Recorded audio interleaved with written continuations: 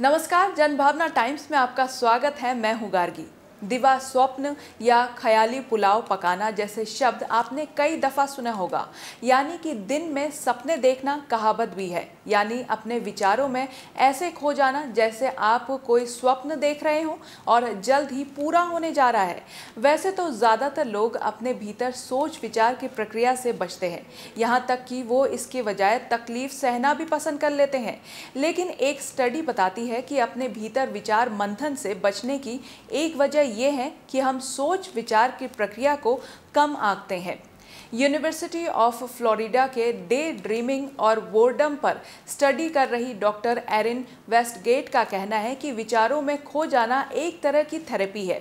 यह हमारे लिए फ़ायदे का सौदा बन सकती है, अगर सोच विचार को सही दिशा और परिस्थितियाँ दी जाए। खास तरह से डे ड्रीमिंग करें तो ये हमें स्थिरता खुशी देता है और ज़्यादा रचनात्मक बनाता है।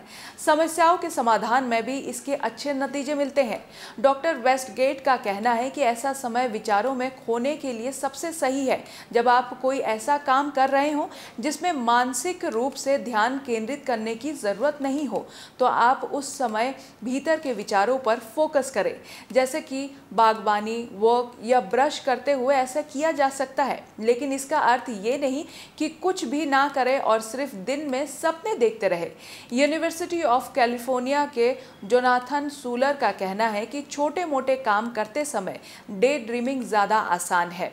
डॉक्टर वेस्टगेट का कहना है कि पॉजिटिव सोचे और अपने विचारों को नियंत्रित करें, जैसे कि अच्छी यादों के बारे में। भविष्य में होने वाले किसी घटना के बारे में, जिसका इंतज़ार हो या उन लोगों के बारे में जिनकी आप फ़िक्र करते हो। डॉक्टर सूलर का कहना है कि विचारों में दिलचस्प आइडिया पर फोकस करने से क्रिएटिविटी बढ़ती है। किसी समस्या का हल खोजने में लगे लोग ब्रेक लेकर कोई और छोटा मोटा काम करते हुए ज़्यादा रचनात्मक हल खोजने में सफल रहते हैं। चुपचाप बैठे हुए सोचते रहने या कोई जटिल काम करने या ब्रेक ना लेने से समस्या का हल और मुश्किल हो जाता है।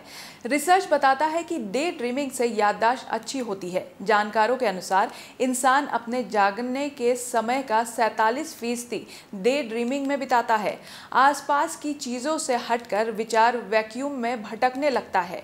ये सही दिशा में होने से मेमोरी बेहतर होती है और मल्टीटास्किंग में आसानी होती है। हमेशा पॉजिटिव रह सकते हैं। जर्मनी के यूनिवर्सिटी ऑफ़ टुबेंजन के मनोवैज्ञानिक के मुरायामा का कहना है कि वयस्कों से अनुमान करने को कहा गया है कि शांत कमरे में अकेले बैठना उनको कितना पसंद आएगा। उसके बाद उनको 20 मिनट इस तरह से बैठने को कहा गया। उनको अनुमान से ज़्यादा खुशी महसूस हुई। यानी कि कुल मिलाकर ये कहा जा सकता है कि सही समय पर आपके मन में सही विचार हो, सही परिवेश हो, सही वातावरण हो तो डे ड्रीमिंग अच्छा रिज़ल्ट दे सकता है, वो आपको मेंटल थेरेपी करा सकता है। आपकी नकारात्मकता को बदलकर आपको सकारात्मक बना सकता है। इसलिए ज़रूरी है कि आप सही समय पर पॉजिटिव सोच और रोचक आइडिया के साथ अपने विचारों में खो जाइए और फिर देखें आपको कैसा महसूस हो रहा है। बाकी खबरों के लिए आप हमारे वेबसाइट www.thejbt.com को लॉगिन कर सकते हैं। देश और दुनिया की बाकी खबरों के लिए देखते रहिए। जनभावना टाइम्स नमस्कार।